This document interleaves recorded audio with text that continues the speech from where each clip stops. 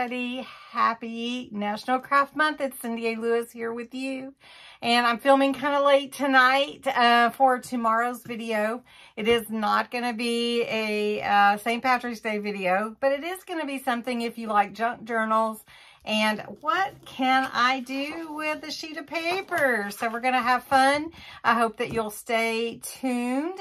Uh, don't forget to go to the March 1st video linked below and enter to win the craft giveaway. By putting those words craft giveaway in the comments of that video linked below and uh, you might win one of those 12 prizes back there. So it's pretty exciting. Uh, check out the video on March 1st and I hope you'll participate in the big giveaway for National Craft Month. So let's jump in and find out what can we do with a sheet of scrapbook paper. Well there's really a lot of things you can do with a piece of scrapbook paper but what we're going to do is we're going to make an ephemera folder for your journal or if you wanted to give gift it to someone and I've got uh, so you know sometimes I do bloopers and uh, tonight I'm not going to do a blooper but I am going to clean my little uh, trimmer here and tell you a funny story. So last night I was working on uh, my sparkle uh, ink and I couldn't get the uh, dropper to spit out the sparkle ink that was left in it so I could clean it. And it ended up spitting it out and it spit it out everywhere. So just be aware of that. By the way, we are going to do some more sparkle ink videos, but tonight we're not. Tonight we're going to take uh, some of this paper that's right here and make it into an ephemera folder. So what you have to do really is determine the size that you want. Now you could do many different sizes, but this is a 12 by 12 page. And I'm just going to cut it down to 11 inches. And then I'm going to cut it to 8. So 11 by 8. Now if you already have some uh, 11 by uh, 11 and a half by or eight and a quarter eight and a half by 11 paper then you're fine. But this one I'm gonna go ahead and uh, cut it. And so I've got an 11 inches by 8 inches tall. So now I'm gonna score this. So what we're gonna do is we're gonna score at uh, let's see let's score this one at two and a half. So you're going to score at two and a half and then at two and a half, let's just, let me just show you where you're at at two and a half. So we're going to go ahead and fold this. And at two and a half, now I have eight and a half inches. So what I want to do is I want to score that in half, which would be four and a quarter. So this is your basic folder. So I've got, this is 11 inches by 8 inches, scored at four and a quarter and then at two and a half. Okay, so what we're going to do is we're going to create a little um, fastener. So I'm going to take some of the paper that I have and I'm going to cut it at, let's see, which way do I want to do it? I want to cut it at a one and a half inches.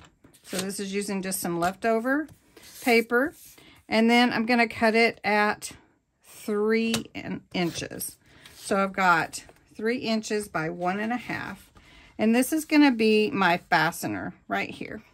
Now you could make a belly band. You could make a band that goes around the whole thing. However you want to do it. But this is going to be my fastener. Then on the inside, I want to decorate and have some pockets. But before I do anything else and any more cutting, I want to let you know that I am going to use my cocoa dye ink and a blending tool. And I'm going to go around the edges to vintageize. So I just have a homemade one and some cocoa dye ink. And I just go around the edges like this all the way around. And that gives me that look of old world. And then next, I took a, a piece of another piece of the same paper pad and I cut the center of my uh, folio for my ephemera my ephemera folder. And then I cut a piece here that is, so I just cut at seven and three quarters. I cut the center because I wanted this flower on here. And then I took what was left. So I'm just using some scrap paper that I had, uh, which was another piece. And I'm going to make these where they fit like this, but I can put ephemera in the side. So they're going to be little tuck spots, and this one's going to be all glued down. And then um, I'm going to put some ephemera in there. Now, on the outside, I'm going to decorate it, and then I'm going to put my little band here to close it. But I'm not going to really create a big pocket in here because I love this flower. But you could decorate it more. However, this paper is so beautiful, I really don't feel like I need to do much decorating. And also, the, the page is pretty vintagey looking anyway. But you can definitely add um, to your um, old old look, your vintage. Now, I, I've got this paper. This is called Vintage Diary from Crafter's Companion. I don't know that you can get it anymore, but you could use any paper or theme that you like.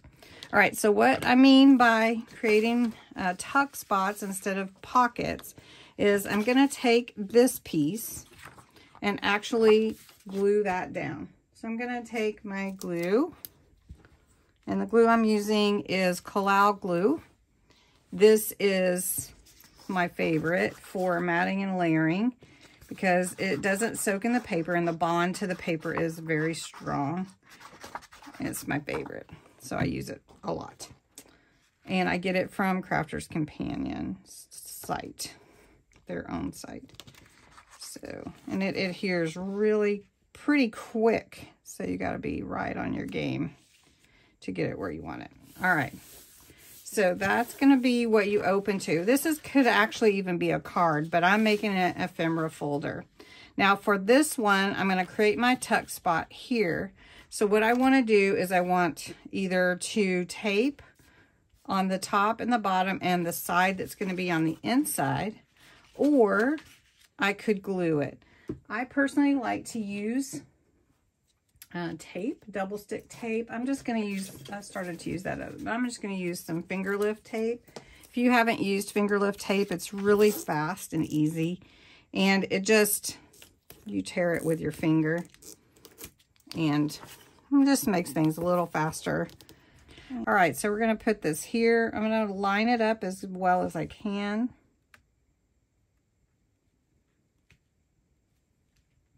Okay. Now my tuck spot is here. All right, so I'm putting some pressure there.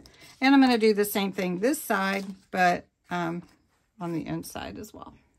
Now for this corner, I'm going to put a little diagonal tuck spot here. And it's just going to look like it's part of the of the pocket uh, of the folder and but it can tuck some things in there too so i'm just going to use my same tape and I'll go around the edge here and then the side.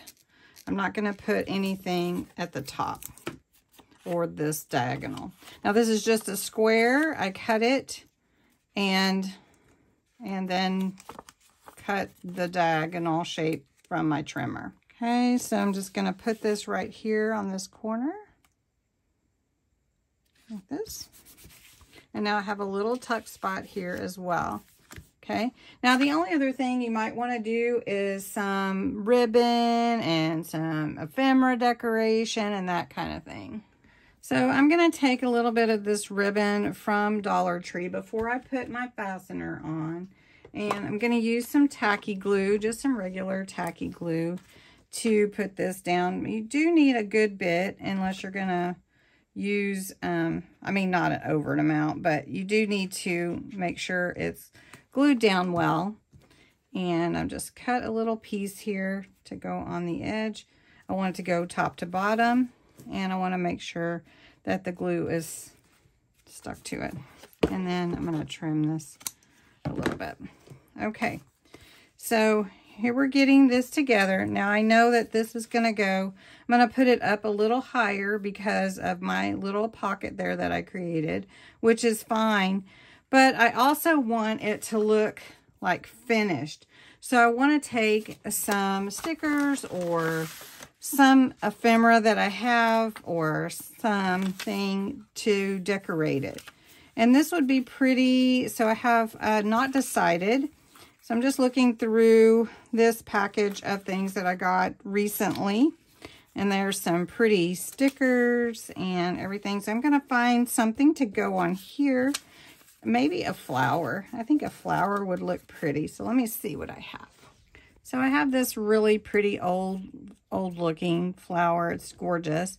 It is a sticker, but I'm going to add some glue to it just to help it a little bit. I want it to stay a while. So I'm going to put this on the side that's going to go to the right like this. So that'll be pretty, right? And then I'm going to go in here and I'm going to add a little bit of decoration and some ephemera in it and things. And so I will show you how it came out at the end. All right, so I've got it finished except for putting the fastener on. So I'm going to use some Velcro. And basically, I usually stick it together like that. I cut a piece in half. And it does have, this Velcro does have adhesive on the back.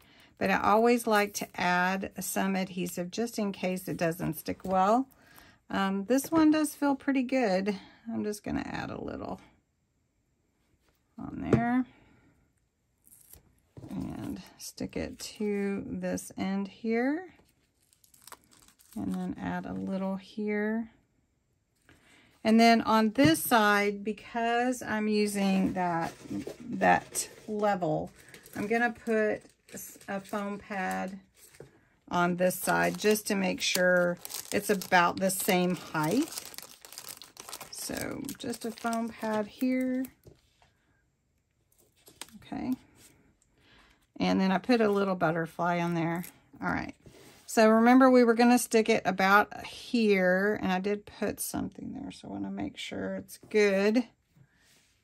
And push it down. All right. So this is my ephemera folder. I could add more. I, I feel like it needs uh, a lady here. So let me see if I have one that's pretty. Let's put one of these retro characters on there. Let's see. Um, something like this would be good. Okay. Now you can decorate, of course, with whatever theme you're decorating with. So let's just put her here. I love these old retro stickers. There we go. All right, so here is my ephemera folder that we made tonight, or portfolio, however you want. Now, I wanted to put some words on here.